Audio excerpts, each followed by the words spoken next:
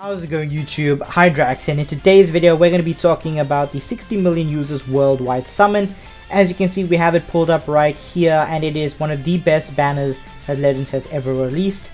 Uh, I believe it is one of the most valuable banners we'll see for a very very long time because it guarantees a Legends limited on each multi-summon you do.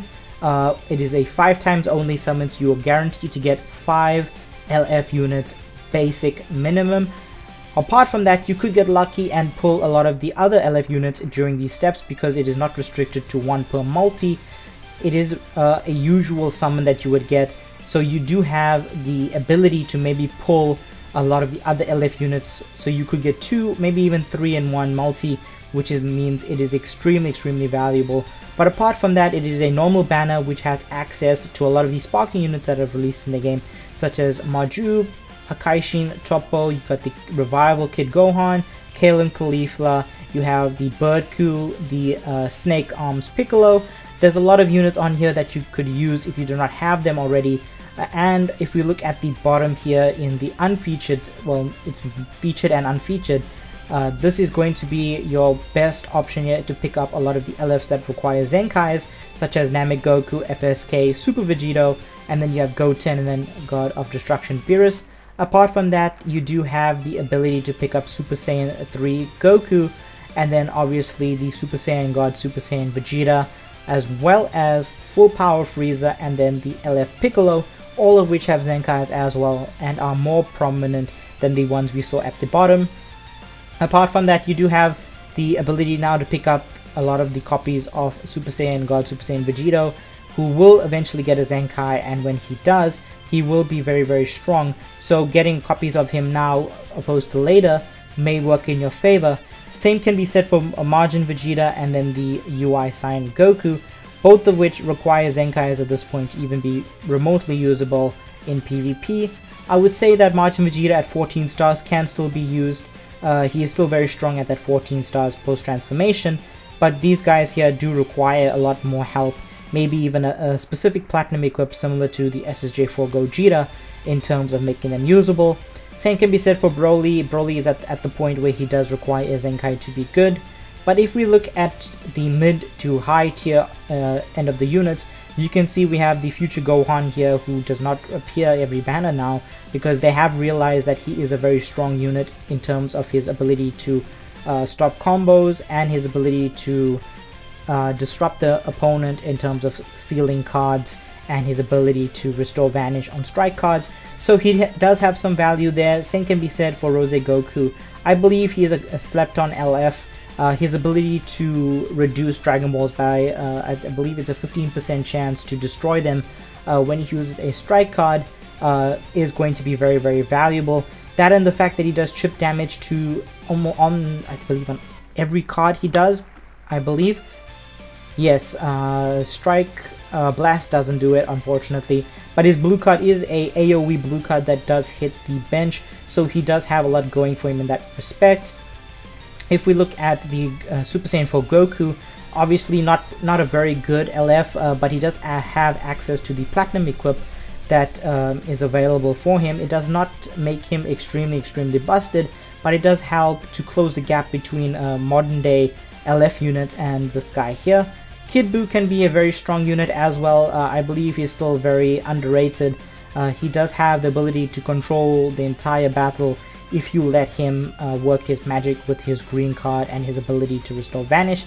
He can be a very menacing unit once he gets going. Uh, it is a very dangerous uh, unit, it's just that his teams don't see enough play, so you don't see this guy as often as you would normally do. Uh, Corrupted Zamasu is an up-and-coming LF unit. A lot of people are, are going to be using him uh, more frequently now because of the Ultra Kaioken Goku, and then obviously you have the Lineage of Evil yellow, yellow, blue setup uh, with the full power Friezas, and then you have the Revival Frieza. This guy being able to nullify Endurance after he pops his main ability for 30 time accounts means that he's going to be a perfect unit to go up against the yellows in the meta and of course the Jiren that is also prominent uh, with the uh, Universe Survival Saga tag. So he's going to be up and coming, he just needs a little bit of more help. He does have a double Zenkai buff with the Rose and then obviously you have the um, the Super Gogeta from the uh, movie, who is also buffing him, and the Red Fusions. So he does have a sizable Zenkai buff. He just needs a little bit extra help with the new Platinum, and he's going to be up there with the most used red units right now. Uh, same can be said for Super Saiyan 4 Gogeta, who's probably the most uh, valuable, but uh, I would actually say the second most valuable unit on this banner, honestly. I believe Frieza is going to be more valuable than him purely because he nullifies endurance as a basic. But other than that, this guy has his platinum equipment. He does wondrous things in terms of how he controls the field with his blast armor, green card, and goes type neutral when you pop his main ability.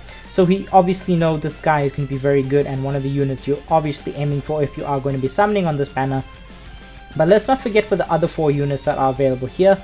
Great Ape Vegeta is a very strong unit. Um, he is quite slept on, but unfortunately this this Vegeta does suffer from the fact that you do need him at a, a, a very high stars to actually make him very useful, such as 9 stars and above, uh, to actually make him shine the way he needs to. Because this guy does not have uh, a lot of defense coming from his kit, uh, you do need the stars to make up for that difference in defense, but he does have luck going for him, such as the ability to uh, eat a rush from a unit like Ultra Gogeta, uh, assuming Ultra Gogeta does not pop his ultimate and nullify this guy's endurance, but he does have a lot going for him in terms of AoE green card, his ability to draw multiple strikes, and the fact that he, he is red means he is going to be very useful along uh, fighting the dominant yellow presence in the meta. If we look at another unit that is quite slept on, it's going to be Perfect Cell. Perfect Cell is very overshadowed by the Android 21 Zenkai, but if you have this guy at 7 stars, he does have a lot to offer for his teams. It is unfortunate though that his teams have not received a buff since the fusion, or I should say the uh, tag assist uh, Goku, Black, and Zamasu from last year. Uh, he does have the Zenkai, uh, well, access to Android 21 Zenkai to buff him up.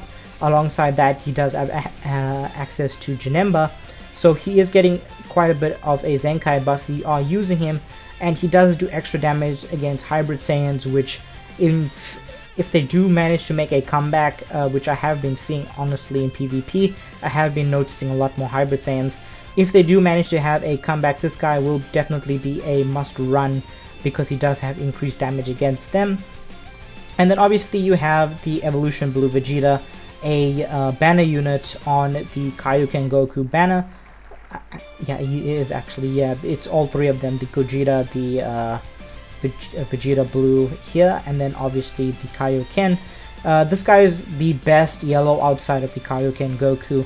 On the same teams Kaioken Goku is on because he is Universe Survival Saga, he is God Ki, he is going to be very useful along on the uh, Vegeta family team if you do need a more offensive unit.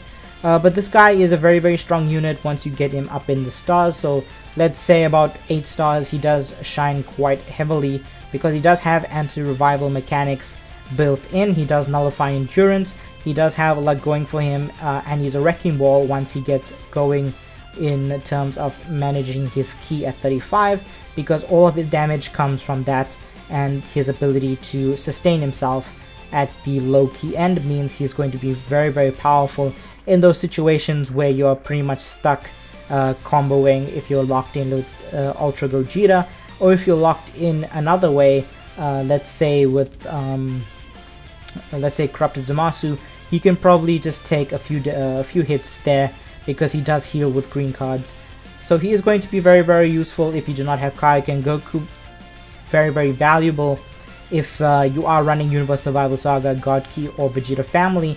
So he is going to be another unit that is a very, very prominent unit you want to pick up from this banner. And then you have the Revival Gohan, who is not aged a single day in my opinion.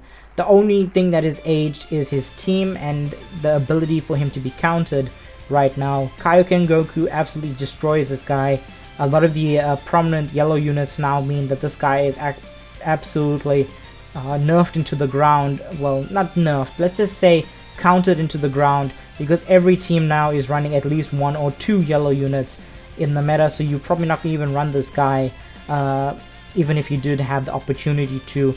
But apart from that, if you are going up against a usual team, let's say Saiyans for example, he does have the ability to revive, and the fact that endurance and revival still works on this team means that he is going to be extremely, extremely strong uh, with that setup with FSK. The similar and the same old setup that was a very large problem uh, before the Goku and Vegeta drop last year. So let's look at the banner. As you can see, the drop rate is 0.08%. That is a usual, uh, or the usual rate, that is uh, the normal rates for this banner. Uh, so in the uh, event of a multi-summon, the first 9 units from units 1 to 9 will have a 0.08% chance uh, to pull a Legends Limited unit, and on the final step it is a 4% chance per Legends Limited unit that is available here. That means you are going to get at least maybe one or two depending on how lucky you get on this uh, banner. You could actually pull even three uh, LF units in a single multi because they are uh, a lot higher rates than they would normally be. Uh, usually it's 0. Point, uh, actually it's 0.5 percent, but on that end you have access to a much larger pool of units who are very very good, such as Full Power Frieza, Super Saiyan 4 Gogeta, you have the Gohan, and then Half Corrupted Zamasu. Other than that, you have the ability to get units that you could Zenkai, such as the Vegeta, Goku, the guys at the bottom, and then obviously Piccolo.